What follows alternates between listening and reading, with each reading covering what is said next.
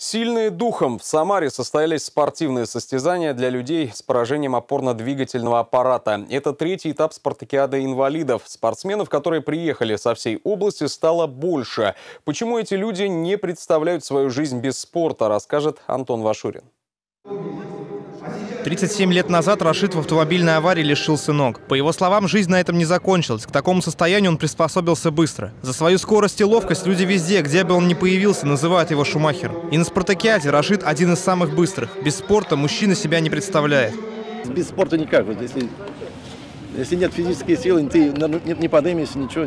Я же на второй этаж я жил, у меня квартира трехкомнатная была, на втором этаже. Я 20 лет на второй этаж лазил да, на четырех раз поднимешься, опустишься без, без никакого лифта там.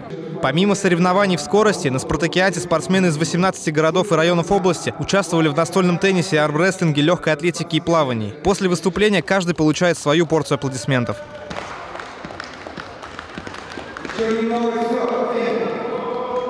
Участников по сравнению с прошлым годом стало больше. Если в прошлом году их было всего 93 человека, в этом году уже 106, несмотря на то, что представлено немножко меньшее количество городских округов и муниципальных образований. Когда собираются люди все вместе, когда старт, когда конкуренция, когда победа и даже горечь поражения – это эмоции. А эмоции – это всегда хорошо. Минспорта надеются, такие спортивные праздники будут привлекать большее количество участников со всей области. Новая 18-я по счету спартакиада начнется уже в начале следующей весны. Соревноваться будут спортсмены с нарушением зрения. Антон Вашурин, Александр Каракулько. Новости губернии.